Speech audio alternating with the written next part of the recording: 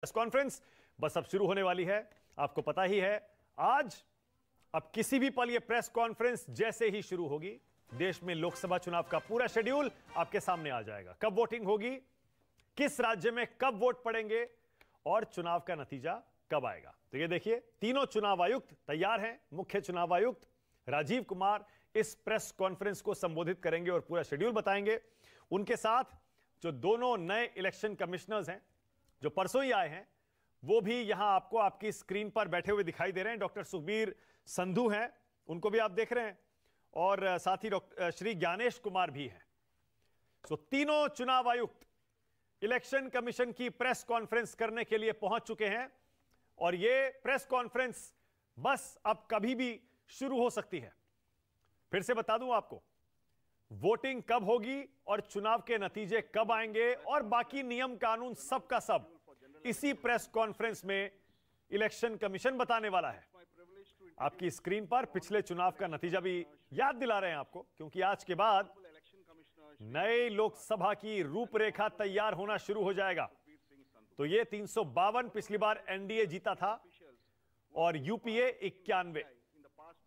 इस बार एनडीए का नारा है 400 पार। जबकि विपक्ष कह रहा है, अब की बार सरकार बाहर। देखते हैं जीतता कौन है, लेकिन वोटिंग किस राज्य में कब होगी यह बस अब आपको कुछ ही देर में न्यूज़ 24 पर पता चल जाएगा। राजीव कुमार, मुख्य चुनाव आयुक्त, अपने दोनों नए चुनाव आयुक्तों के साथ प्रेस कॉन्फ्रेंस करने के लिए बैठ गए हैं। राजीव कुमार सीईसी हैं, चीफ इलेक्शन कमिश्नर, और उनके साथ डॉक्टर सुखबीर संधू, जैसा मैंने बताया, परसों ही इन्होंने कार्यभार संभाला है। 1988 बैच के उत्तराखंड काडर के अफसर हैं और उत्तराखंड सरकार में चीफ सेक्रेटरी, मुख्य सचिव रह चुके हैं।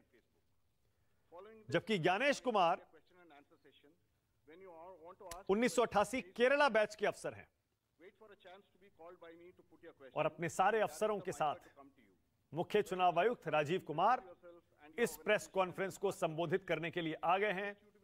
और न्यूज़ 24 भी तैयार है। आपको एक एक तारीख एक एक जानकारी। न सिर्फ़ हमारे टीवी चैनल पर बल्कि हमारे सारे डिजिटल प्लेटफॉर्म्स पर भी मिल जाएगी।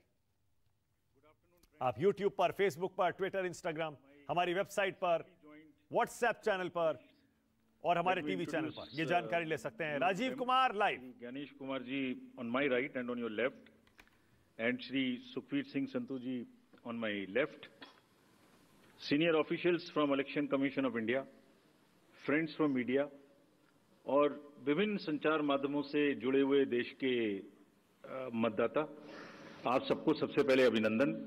नमस्कार। आप सभी का इस प्रेस कॉन्फ्रेंस में स्वागत है। As you see our team is now complete all three of us are here and we are fully prepared So now our request is to all the voters to get inked. Please, uh, the entire team in the ECI is ready to ink the voters. Please join us. I think this is the most uh, awaited press conference in this part of the year. We address you at a precious moment when we as a nation are set to reiterate our pledge to electoral democracy, when Indians will together express their will once again. This is historic opportunity for all of us.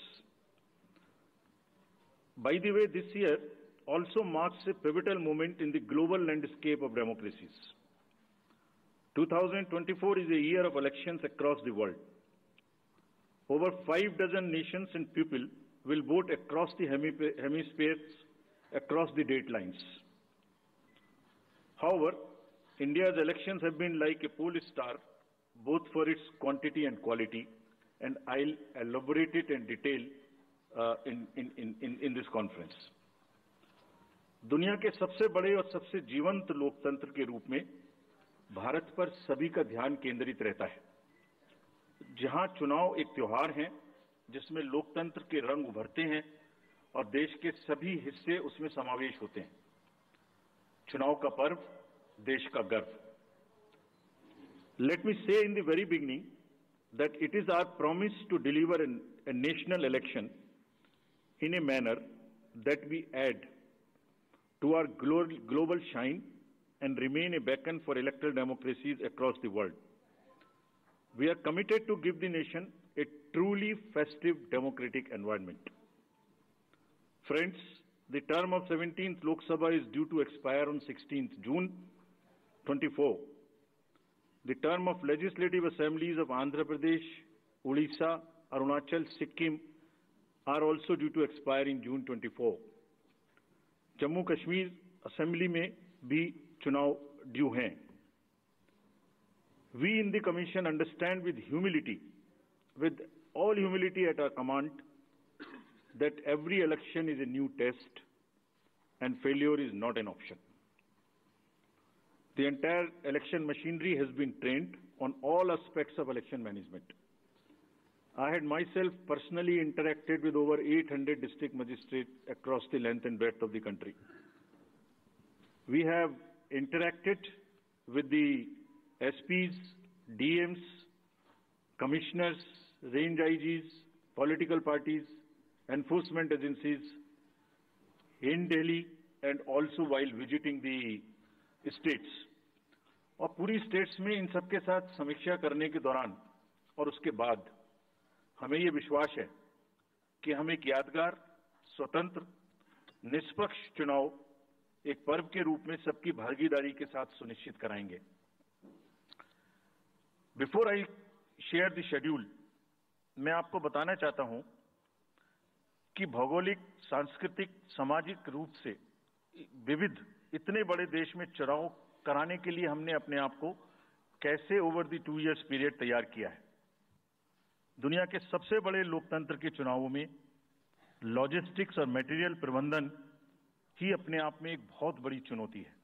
तो let us show you what is the magnitude by which we are doing this elections we have 97 crore uh, registered voters, more than the combined voters of uh, a few continents put together, Americas, Europe, uh, Australia, all many put together.